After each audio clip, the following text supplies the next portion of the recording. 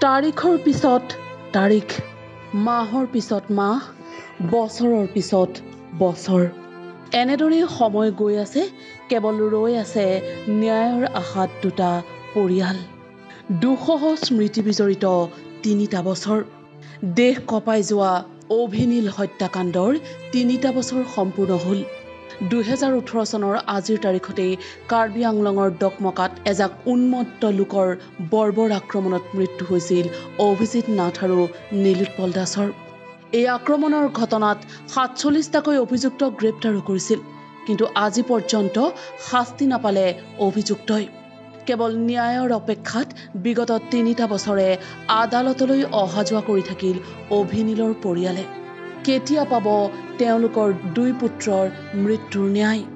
অভিনীল হত্যাকাণ্ডৰ তিনি বছৰ সম্পূৰ্ণ হ'ল। সকলোৰে ৰাইজে যিটো অভূতপূৰ্ব তেওঁলোকক মৃত্যুৰ প্ৰতিবাদ কৰিছিল সেইটো আজিও হয়তো তেওঁলোকৰ সকলোৰে মনত এইবিলাক সজীৱ হৈ আছে। কিন্তু আজি যি ন্যায় ব্যৱস্থা চলি আছে ন্যায় প্ৰক্ৰিয়া চলি আছে আমাৰ নগাঁও সদৰ আদালতত সত্ৰ আদালতত সেই ব্যৱস্থাটো আমি অনুভৱ কৰিছোঁ আৰু সকলোৱে অনুভৱ কৰিছে যে এই ব্যৱস্থা প্ৰক্ৰিয়াটো খুব লেহেমীয়া হৈছে। কাৰণ তিনি বছৰে আজি সাক্ষীবিলাকৰ সাক্ষ্যদান প্ৰক্ৰিয়াটো সম্পূৰ্ণ নহ'ল। অসহায় অনুভৱ কৰিছে অভিনীলৰ পৰিয়ালে। সেয়েহে মুখ্যমন্ত্ৰী ডক্টৰ হিমন্ত বিশ্ব শৰ্মাক কাটৰ আহ্বান জনাইছে পৰিয়ালটোৱে। আমাক ন্যায় দিয়ক। ন্যায় ব্যৱস্থাই যদি ত্বৰান্বিত নহয় তেনেহ'লে ভৱিষ্যতে পুনৰ এনেধৰণৰ ঘটনা ঘটিয়ে থাকিব।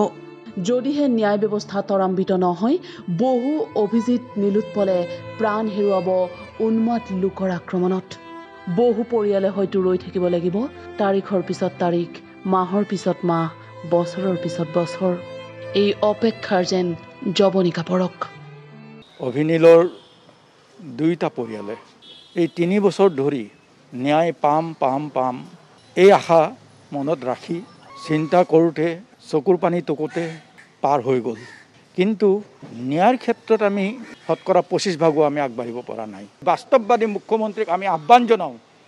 বৰ্তমান নতুন মুখ্যমন্ত্ৰীক আমি আহ্বান জনাওঁ আৰু অনুৰোধ জনাওঁ যাতে এই দিশটো তেওঁ গুৰুত্বপূৰ্ণভাৱে লয় আৰু সেই হিচাপে তেওঁ কাৰ্যকৰী ব্যৱস্থা হাতত লয়। কেমেৰা পাৰ্চন দেৱাংগ দাস আৰু হিৰণ্য ডেকাৰ সৈতে মনোৰঞ্জন দত্ত আৰু বিকাশ শৰ্মা নিউজ লাইভ।